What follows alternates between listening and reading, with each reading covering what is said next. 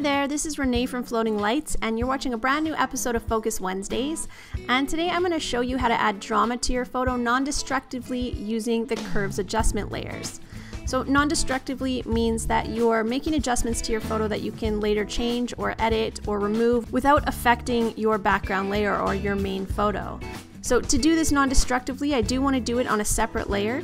So the first thing I'm going to do is come down to the bottom of my layers panel, down to the new adjustment layer icon. So that's this little circle with a half circle in it.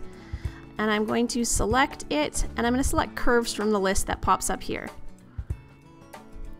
And the first thing we're going to do is drag the middle of our curves line um, just straight up. So it's kind of up and to the left, and that's just bringing up the highlights in our photo and this essentially will become the dodging. So that looks pretty good. I'm just going to rename this layer dodge or lighten. I need to do the exact same thing for um, my burn layer. So I'm going to come back down to the bottom of my layers panel. I'm going to click on the new adjustment layer and I'm going to select curves from the drop down list. And in this curves layer, we're actually going to make the burn. So we need to drag our line down and to the right. So this is the burn layer. And that looks pretty good as well. So I'm just going to rename this burn or darken. Now the next thing we need to do is invert these layer masks. So we want to make sure that we're not on the layers themselves, but that we're on the layer mask. So you can see these four little brackets that are around um, the layer. We want to make those four little brackets around the layer mask. So you just want to click on your layer mask and then you're going to hit Command I or Control I on a PC and it's going to invert your layer mask. And you're going to do the same thing for both layer masks. So coming down to the dodge now, we're just going to hit Command I or Control I, and it is going to invert that. So this makes the photo look like there's nothing happening, right? Nothing has changed. You can turn these on and off, and it hasn't made any effects to our photo. So we're actually going to use our layer mask and selecting a white brush. So coming down here to the bottom um, of our toolbar and making sure that our foreground color is set to white. And you can toggle back and forth between black and white by hitting X on your keyboard. Um, so making sure white is in the foreground, we're going to select our brush tool.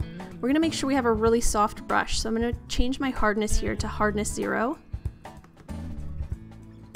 And with your opacity, mine's set to about 18, and that's probably okay for this. So if yours is set too high or too low, maybe adjust it to between 15 and 20 is probably good.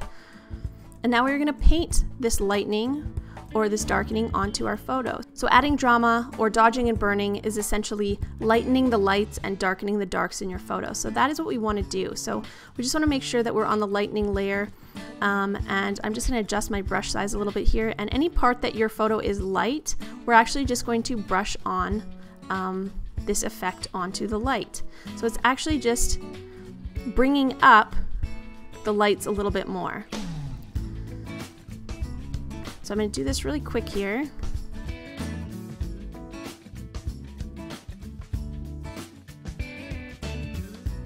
So that's pretty good. And now I'm going to do the same thing with the darks.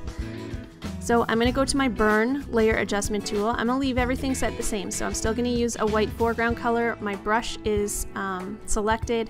My hardness is still set to zero and my opacity is still at 18.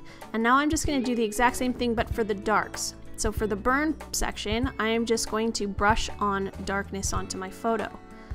So anywhere that my photo is already a little bit dark, I'm just going to emphasize that a little bit and brush dark onto this image.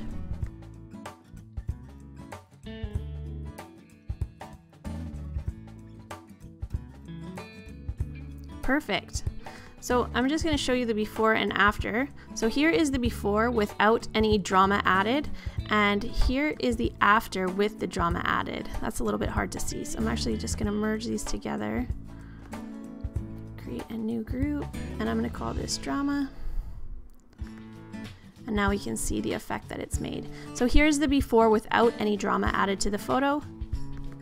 And then here's the after with some more drama. So it's really just um, added highlights to the already light parts and it's added some more shadows to the already dark parts. And that's really how you make an image stand out or add some oomph into your image.